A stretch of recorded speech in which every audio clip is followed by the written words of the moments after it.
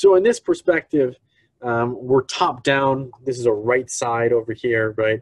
Right skull base. This is that anterior surface, and then this is the of the petrous bone. Here's that superior surface. You know, here's the of course, uh, you know, the landmark I love to throw up because it's so apparent is fifth nerve as it comes up and over the petrous ridge.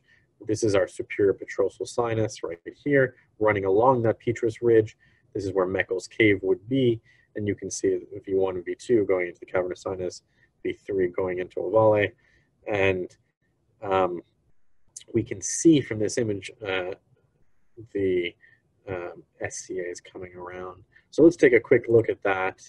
We're just zooming in there in that cerebellopontine angle, but from above. So we were here laterally earlier. Now we're, we're looking at this area from above. Um, and we can see um, uh, we can see that fifth nerve there it is intradural 5 going to Meckel's cave and then just uh, by it of course we have the superior cerebellar artery.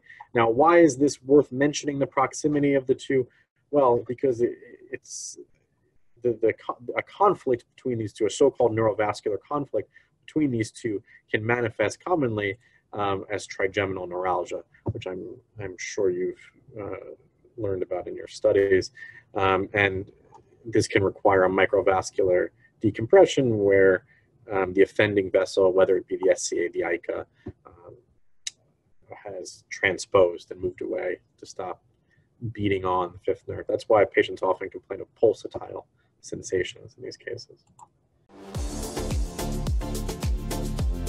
Hey everyone, Ryan Rad here from neurosurgerytraining.org. If you like that video, subscribe and donate to keep our content available for medical students across the world.